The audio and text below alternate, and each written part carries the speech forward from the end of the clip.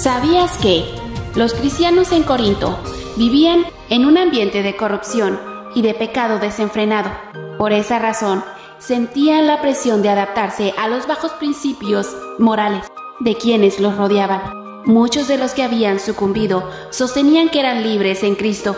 Pero, ¿qué significa ser libres en Cristo? Pablo les dijo, pues juro, amados hermanos, que todos los días enfrento la muerte. Esto es tan cierto como el orgullo que siento por lo que Cristo Jesús nuestro Señor ha hecho en ustedes. ¿Y qué significa esto?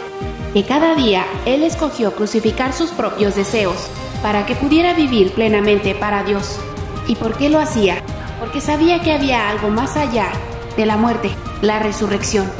¿Y qué valor hubo en luchar contra las fieras si no habrá resurrección de los muertos? Si no hay resurrección, comamos y bebamos que mañana moriremos. No se dejen engañar por los que dicen semejantes cosas, porque las malas compañías corrompen el buen carácter.